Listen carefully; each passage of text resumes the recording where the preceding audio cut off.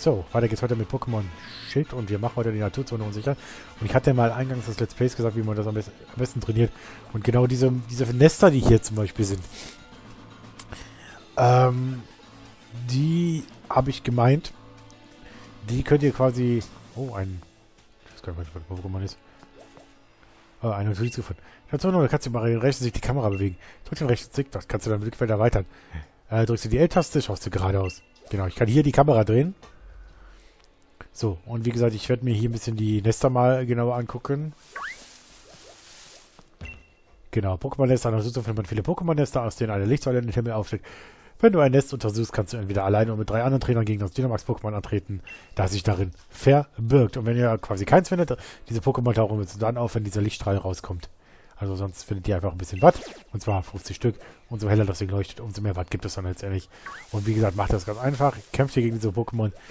Ähm, mache ich jetzt auch gleich. Wie gesagt, ich werde ein bisschen in der Naturzone trainieren müssen. Ähm, so. Nochmal 50 Watt gekriegt. Da ist auch nochmal ein bisschen was. Ja, aber hier war Drivi, habe ich auch zwischen sehr lange überlegt, ob ich das ins Team nehmen soll. Also äh, die Weiterentwicklung davon und Weise. Aber wenn wir nicht tun, aber vielleicht kriegen wir ja das eine oder andere Teammitglied. Zwei meines Wissens gibt es hier.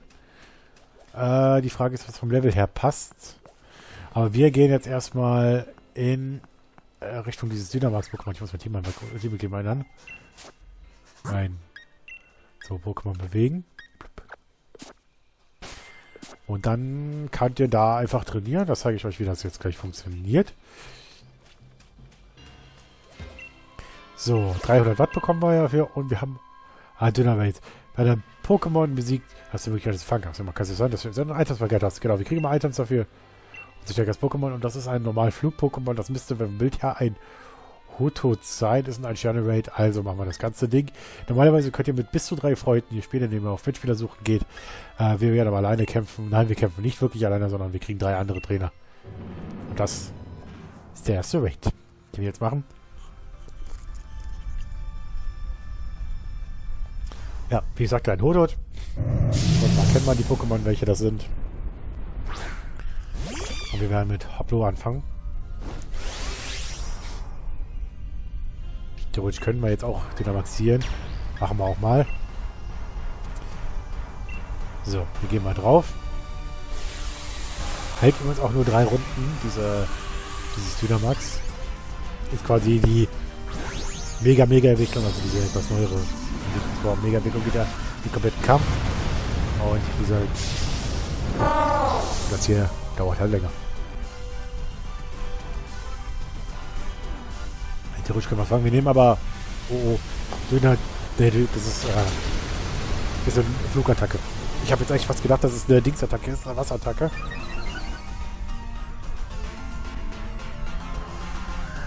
So, Kasodero geht schon mal down. Hier kriegt ihr uns. Oh. Alles mögliche. Und dieser Kampf geht uns nicht ewig. Sondern nach einer gewissen Rundenanzahl bricht dieser Kampf ab. Also müssen wir es quasi direkt besiegen. Hoffe zumindest, dass wir es hinkriegen. Und umso mehr kriegen wir natürlich auch Level. Umso, umso mehr Items bekommen wir und alles rum und dran. Sardin, ja, gut, okay.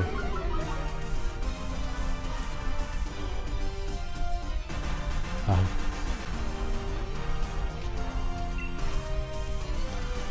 So, drauf.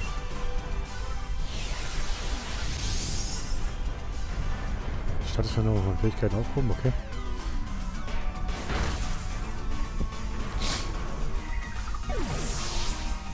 Klar, es ist nicht ohne. Es ist ein Journey Raid und wir sind gerade mal Level 11. So viel ist es noch nicht.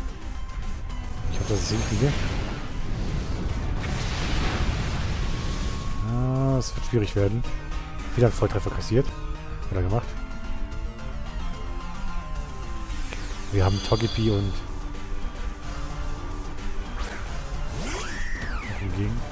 so, Resolderos wieder fit. Nach einer gewissen Zeit äh, sind Pokémon äh, quasi wieder, wieder äh, wiederbelebt. weiter lieber. Ich hatte der jetzt. Ja gut, Residero, der hat ja gar keine Chance gegen dieses Pokémon.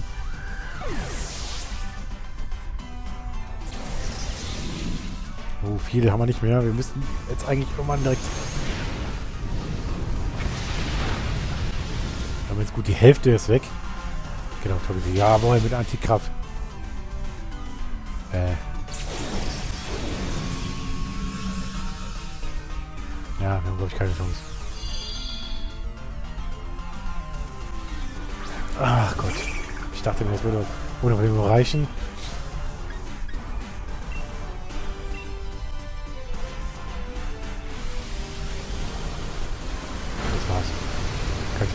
Warblo.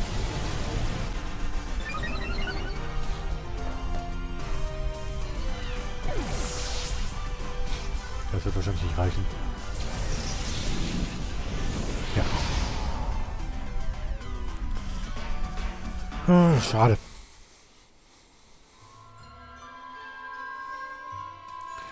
Dann müssen wir einen anderen Welt probieren. Oh, hier sind Items. An den Bäumen findet ihr mal welche Äpfel. Das ist aber kein Apfel, das ist ein Pokéball. Okay. So, gut.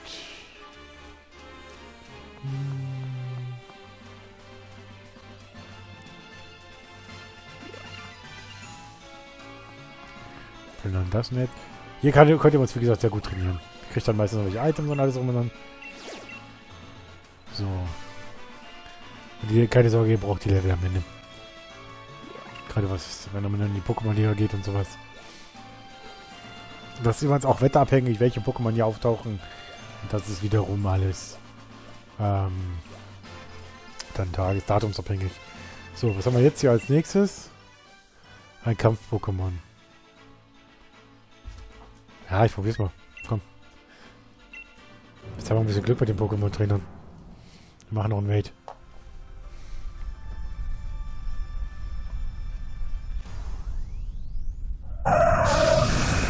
Also jetzt mal Rollo. Was jetzt auftaucht. Ja, wir haben kein Blue-Pokémon oder so. Wenn ich Glück habe, normalerweise findet man sich auch ein Castadur, das ist ein äh, Pflanzen-Stahl-Pokémon, also da macht er gar nichts mit. Was haben wir denn hier vorhin genau und was vorhin genau, das war, wenn das ein bisschen Psycho einsetzt, dann könnte das funktionieren. Also wie gesagt, normalerweise macht er diese Welt mit drei Freunden zusammen. Dann ist das ein bisschen einfacher als hier mit diesen Random-Trainern, aber ich finde halt, wir dieses Level auch haben bisschen, die Items haben. Ich vier oder fünf Runden, das dann... Ist es nicht.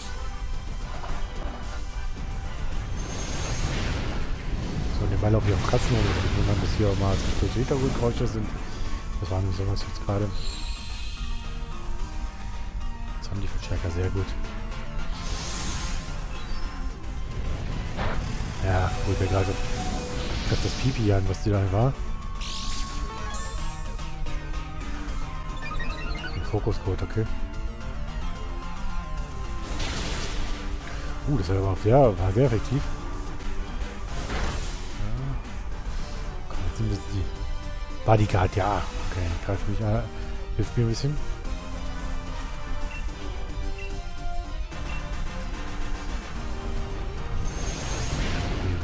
Die nicht bitte funktionieren?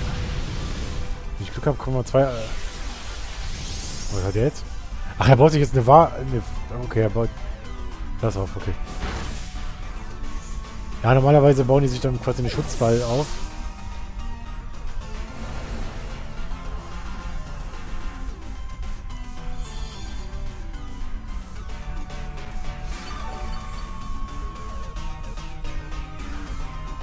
Amnesie. Treff doch an, dann eine Psychoattacke oder so.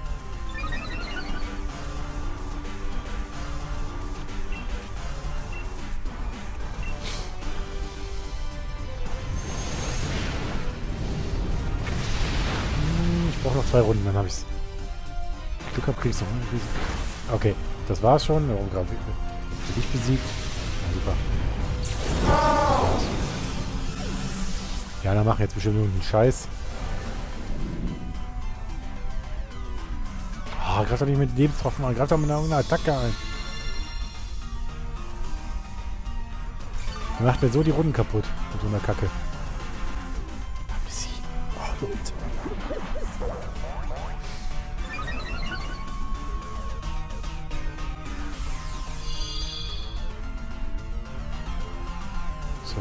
Brauche ich noch. Ich kann nichts machen, ne? Mein Pokémon ist immer noch.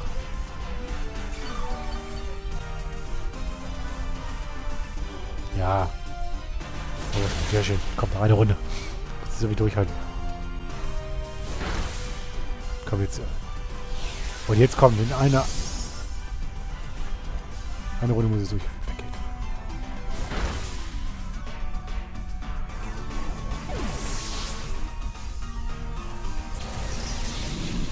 Weggeht. Komm, jetzt muss. Gott, der auch. Nein, es ist fehlgeschlagen. So, jetzt.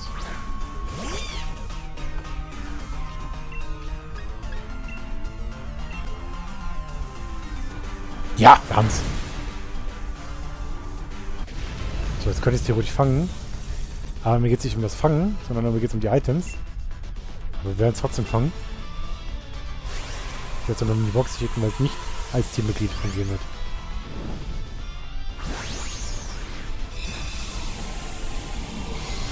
So. Eins. Zwei. Und drei. Und dann gucken wir mal, was für Items wir kriegen.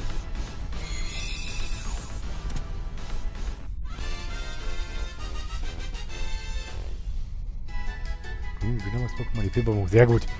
Diese Pipperbonbons sind quasi nichts anderes als Sonderbonbons. Umso größer, umso mehr gibt es. Ich will kein Pokémon in meinem Team. Damit haben wir auch den ersten Raid gewonnen. So. Da gucken wir mal. Beutel. Oh, ich habe ich hab eine LX bekommen, ne? Eine Attacke bekommen. Aurasphäre, wenn ich das richtig gesehen habe. Ist leider nicht erlernbar. Schade.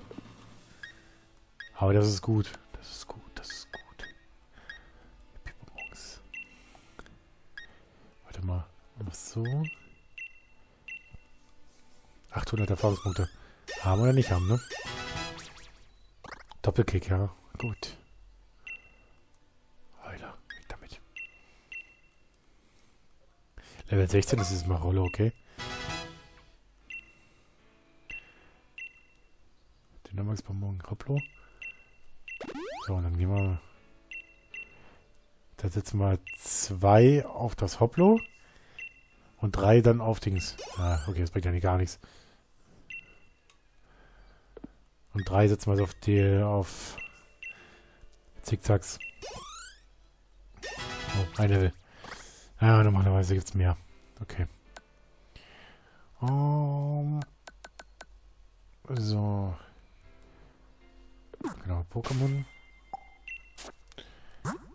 Pokémon bewegen. Warte mal, krieg ich das in die PC-Boxen.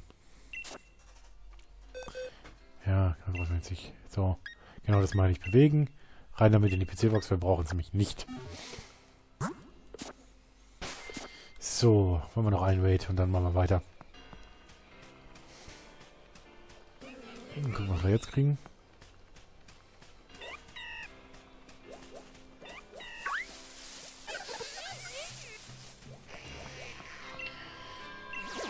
Was haben wir hier? Ach, das ist wieder Nothut. Ich brauche was. Da vorne war doch noch einer, ne?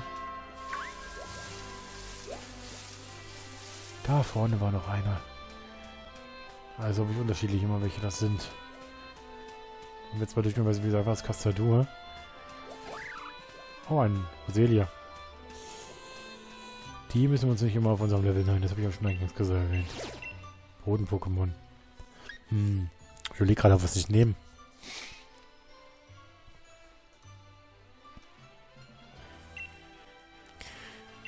Ich überlege gerade, was ich einfach ins Team nehme. Weil es wird, wenn, wenn es das Pokémon ist, was ich meine, wird es ein Drachen-Pokémon. Ich glaube, wir nehmen es sogar ins Team.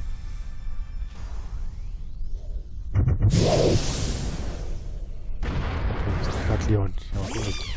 Ich schaue es gleich mal einfach an, das ganze das der So. Solange so keine Drachen, äh, keine Bodenattacken kann, das ist für mich okay.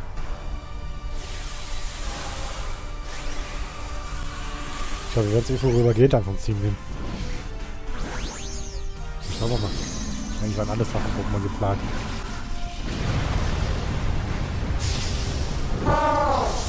So. Jetzt haben wir auch mit drei Level drüber.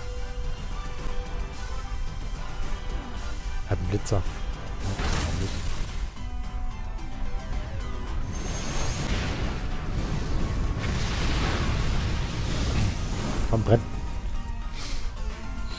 Nicht. Schade. Ja, gut, die Hälfte schon weg. Oh, bitte nicht auf mich. Ich glaube, es geht auf mich. Nee, geht's nicht. Okay. Verteidigung.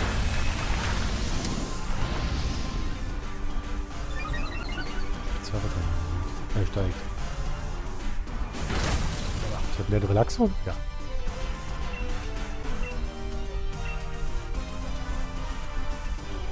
Dann macht die so oft es geht irgendwie und dann gibt es schön genug Erfahrungspunkte durch diese Items.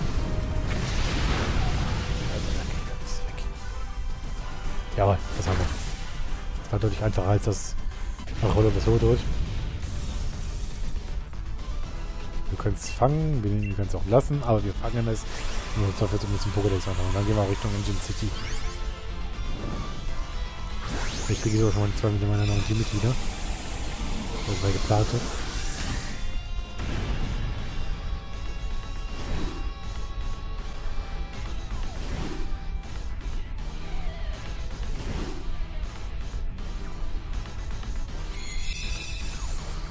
So.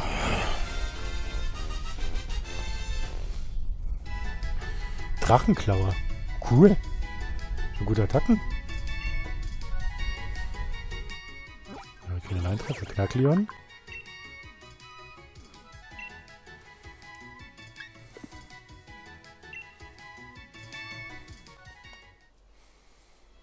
So. Pokémon. So, das nehmen wir raus aus dem Team. Hier ist auch nicht das Team.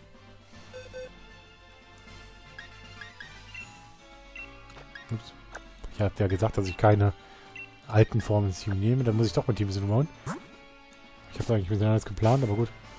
Wir nehmen Regionalformen auf jeden Fall. Wir nehmen nur Gala-Pokémon rein. So. Dann nehmen wir die fünf, alle fünf rein. 500. Ja, okay gar nichts drin. Dynamax, es gibt alles auf Hoplo. Mit 13. Zickzack ist jetzt Ko äh, Land kopflos. Dann also dafür Schlecker mal raus.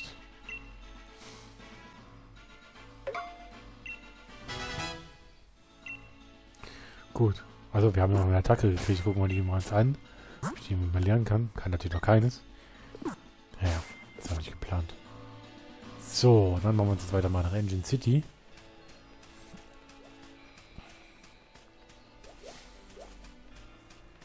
War hier lang, ne? Dick das.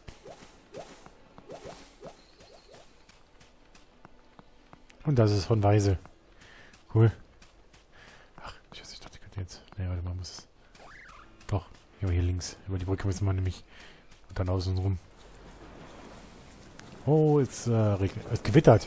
Ah, das ist ein erhöhtes Aufkommen von Elektro-Pokémon. Sowas wie Pikachu und so. Das Wasser können wir noch nicht. Oh, ein Garados. Cool. Dann mal die Frage, machen wir noch einen Raid? Ich gucke jetzt mal, was es hier noch gibt. Weil so jetzt gerade hier zu kämpfen gegen Angler vor allen Dingen, nicht beim Ver Nehmen die 300 Watt mit. Und das ist ein... Oh Gott, schwierig. Ah, das ist ein links, ähm, ein Schallquapp gewesen. Ein Wasser-Pokémon. Mal hier, Pipi. Und ein Voltenso. Ich sag ja Elektro-Pokémon. Und das sind diese Giga-Raids. Das müssten mindestens fünf. Ah, genau. Watt, ja. Und Watt ist quasi, kann man hier Sachen bei den meisten bei vielen Menschen kaufen. Äh, wie Items und also irgendwelche Steine und ein Uferkraut. Okay. Nochmal Uferkraut. Hier kann man angeln. Sollte wieder Uferkraut sein? Ne, noch ein Beleb Beleber. Wow. Was war hier? Ein Flug-Pokémon. Ah, das Dusselgoa kann das sein. So, na gut.